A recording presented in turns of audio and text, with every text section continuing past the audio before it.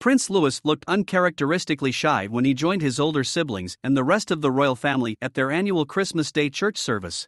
Making his festive debut, little Louis walked into St. Mary Magdalene Church in Sandringham hand in hand with his proud parents, the Prince and Princess of Wales.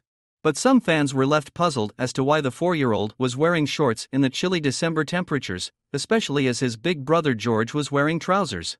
It turns out William and Kate's outfit choice was down to a very upper class tradition which dates back centuries. Etiquette expert William Hanson has previously told Harper's Bazaar that royal boys are normally dressed in shorts for formal occasions until their eighth birthday. He explains trousers are for older boys and men, whereas shorts on young boys is one of those silent class markers that we have in England. Although times are, slowly, changing, a pair of trousers on a young boy is considered quite middle class, quite suburban. And no self respecting aristo or royal would want to be considered suburban.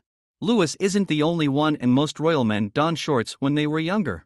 George wore them to pretty much every royal engagement for the first years of his life, but he's now nine, which means he's been upgraded to trousers. King Charles led his family into the church as they navigated their first festive season without the late Queen. As well as the Wales family, he was joined by Queen Camilla, Zara and Mike Tindall, Edward and Sophie Wessex, with Lady Louise Windsor and James, Viscount Severn, as well as Princess Beatrice, her husband Eduardo Mapelli Mozzi, and his son Wolfie. Disgraced Prince Andrew also made an unexpected appearance at the religious event, seen alongside his youngest daughter Princess Eugenie and her husband Jack Brooksbank. Prince Louis stole the show at the Platinum Jubilee celebrations in June, however, he was more reserved at last week's festive event.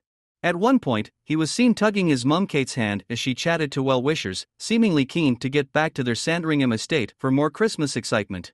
But body language expert Judi James claims she spotted a very sweet moment when the youngest appeared to comfort his grandmother, Camilla.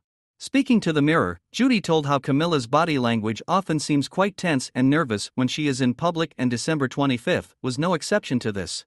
Camilla's body language signals suggest she is often in a state of tension or nervousness in public, she explained. When the royals emerged from the church, Charles appeared to be in high spirits, pointing to and laughing with the clergy but leaving Camilla trailing in his wake.